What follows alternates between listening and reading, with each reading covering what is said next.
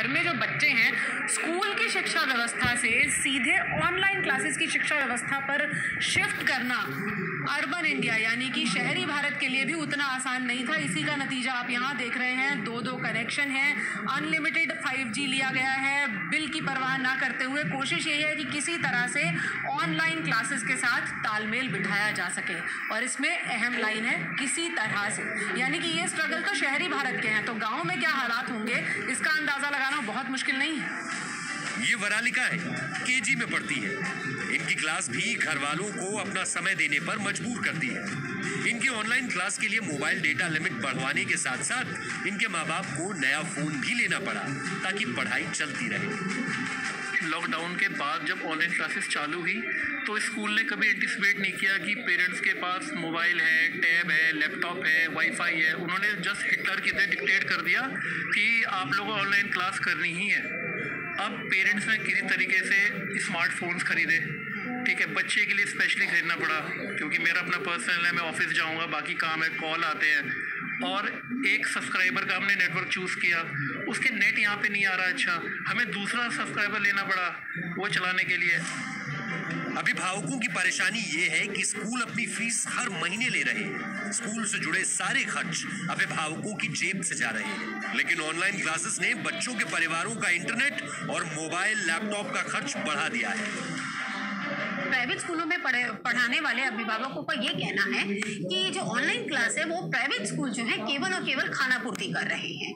क्योंकि वो online class के नाम पे पूरी की पूरी फ़ीस वसूलना चाहते हैं। और यहीं पर अभिभावकों का ये कहना है कि जब क्लासेस ऑनलाइन हो रही हैं तो जो ट्यूशन फ़ीस है, वो भी केवल और केवल ऑनलाइन के हिसाब से लेनी चाहिए। तो ये बहुत बड़ा बहस का मुद्दा है, जो हमें लगता है कि सरकारें इस पर ध्यान देंगी। राजस्थान के कोटा में रंगपुर कस्बे के इस परिवार में कमाई करने वाले केवल एक व्यक्ति है, जो मात्र बारह हज़ार रुपए कमाते हैं। इन पर दो स्कूली बच्चियों की पढ़ाई की ज़िम्मेदारी है। पहले स्कूल की फ़ीस भरते थे, अब फ़ीस के साथ साथ स्मार्टफ़ोन और इंटरनेट का खर्च अलग से होने लगा है। शिक्षक भी अभिभावकों की ये मजबूरी समझते हैं। बहुत बड़ी प्रॉब्लम ये आ रही है बच्चों के, गाँव में स्पेशली जहाँ हम हैं कि स्मार्टफ़ोन अवेलेबिलिटी नहीं है हमारे पास। अगर है भी तो इसकी नेटवर्क कनेक्शन की प्रॉब्लम रहती है। और अब जब से ये अनलॉक शुरू हुआ है स्टार्ट तो पेरेंट्स जो हैं वो काम पे निकल गए तो फ़ोन भी अवेलेबल नहीं हो पाते हैं। बड़े शहरों में तो फिर भी माँ बाप कुछ ना कुछ करके मोबाइल इंटरनेट की व्यवस्था कर पा रहे हैं। लेकिन उन गाँवों का हाल खराब है, जहाँ बिजली कम वक्त के लिए आती है और मोबाइल नेटवर्क खराब होना एक बड़ी समस्या है। अभी तक अभिभावक बच्चों को मोबाइल लैपटॉप पर ज़्यादा देर ना बैठने की नसीहत देते थे, लेकिन अब यह मजबूरी और ज़रूरत बन गया है।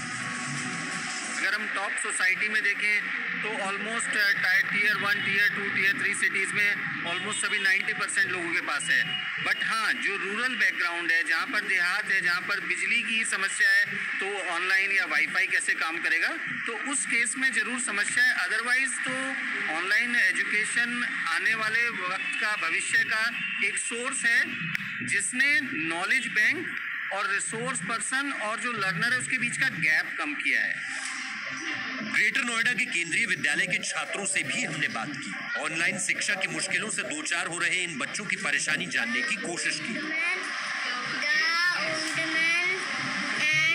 जब मैं क्लास अटेंड करता हूँ तो क्लास अटेंड होना ही पाती है और बीच बीच में क्लास रिमूव हो जाती है। पर कभी कभार ब्रेक होके आवाज़ आती है और वीडियो भी ब्रेक होके आती है। मेरे नेट में रिमूव हो जाता है और कभी कभी क्लास ही कैंसिल हो जाती है। स्कूल में जाते थे क्लास में बैठ के पढ़ते थे और अभी ऐसे पढ़ रहे हो ऑनलाइन दोनों में से कौन सा ज़्यादा अच्छा है? ऑनलाइन क्यों? क्योंकि उसमें घर में भी बैठे रहो और थोड़ा टाइम भी मिलता है ब्रेक के लिए। परेशानियाँ हर तरह की परिस्थितियों में होती है।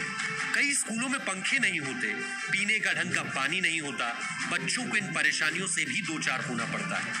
और अब, जब बच्चे घर पर हैं, ऑनलाइन क्लासेस हो रही है तो अभिभावकों को उनकी सेहत और अपने बजट की चिंता सता रही है। पूजा मक्कर के साथ ब्यूरो रिपोर्ट जी मीडिया।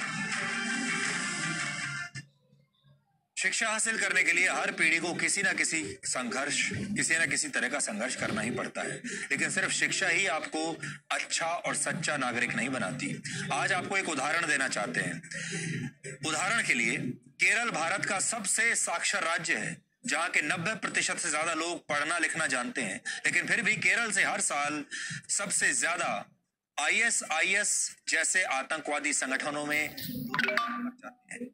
जबकि बिहार जैसा राज्य जिसे शिक्षा व्यवस्था में के क्षेत्र में बहुत पिछड़ा हुआ माना जाता है, जहाँ सिर्फ़ तिरसठ प्रतिशत लोग साक्षर हैं, फिर भी बिहार से हर साल बड़ी संख्या में लोग आईएएस और आईपीएस बनते हैं। सिर्फ़ 2001 से 2015 के बीच ही बिहार से अड़सठ आईएएस अफसर देश को मिले हैं। यानी सबसे साक्षर राज्य होने के बावजूद केरल के जो युवा हैं आईएएस की सबसे ज़्यादा भर्ती भारत में केरल से होती है। और बिहार जैसा गरीब राज्य देश को आईएएस और आईपीएस दे रहा है। इसके बारे में भी आप सोचिएगा। यहाँ हम चार मिनट का ब्रेक लेंगे और ब्रेक के बाद हम आपको शरिया वर्सेस संस्कारों वाला एक विश्लेषण दिखाएँगे।